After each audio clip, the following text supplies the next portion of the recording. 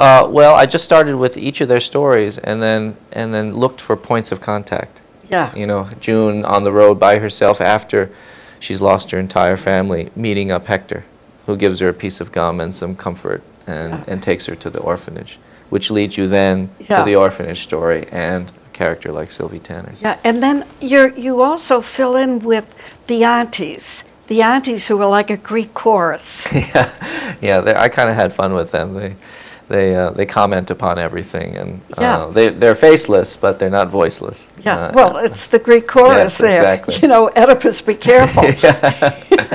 and then, of course, there are the scenes with the Reverend, and he's wonderful with the children.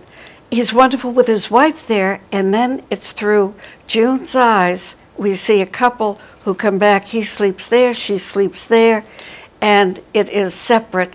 She's had five miscarriages, and yet he's it's his ego and pride that would demand another child. Yeah, I mean, he's he's a he's a he's a good person on the Yeah. outside. He's he's there helping the children. He only has their interests in mind. Yeah. you know, but he has his own desires, Yeah. his own aims, um, which even if he wanted to control, he can, really can. And poor little June at that point is so sure that Sylvie and her husband are going to adopt her, take her back to America.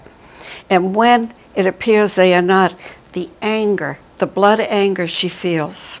it, it's just it's explosive at that point, literally. Yeah. Um, and you know, I was trying to load her up with all this hope. You know that there was this window of light, uh, and then once it's closed, um, you know, it all breaks loose for her. Is that why do you think she, as a mother, could not give love, the fear of losing her son, and yet in not giving him the love, she loses him anyhow? I think it's uh, I think it's that she's shut herself away. She I think she says in one point, if she could live without a heart, Yeah. she would, uh, because having a heart, of course, entails sadness and Yeah. suffering and remorse. Chang-Rae, it's a brilliant book, and I hope, I know that it's going to open a lot of eyes and give a lot of reading pleasure. Will there be another book on the subject? I don't know. Maybe someday. Uh, the next book is completely different, so we'll see. Back to Princeton? uh, no, all around the world. It has a little, a little bit of a China angle. Ah, Yeah. okay, thank you. Will you autograph Oh, my sure. book? And if you'd like to know what else we've been reading lately, visit me on the web at www.conniemartinson.com. And we'll tell you about some other books we've liked recently, including David Corbett's book, Do They Know I'm Running? Well, Man's Inhumanity to Man, talk about undocumented immigrants here in America. They can do all of the dirty work, or as I think it was George, uh, the uh, senator who had been an actor, said to his friend Ronald Reagan, well, so they can bend lower.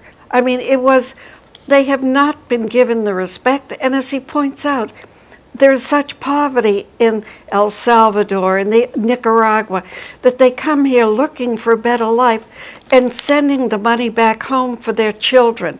Well, this is about how the corporations and the corporate world comes involved and the uh, cruelty that is between even between trying to get over the border and the uh, drug dealers in Mexico. Uh, very well written, almost Charles Dickinson, where you get one character like it is being written uh, at a weekly uh, newspaper. Meanwhile, support your local library. Go in, take out a card. That's how they get funding. And libraries are our finest, finest democratic institution in America. And if you're in Los Angeles, visit the Los Angeles Book Festival. It's uh, wonderful. It's on at UCLA, and writers are there in every format. And we'll see you next time.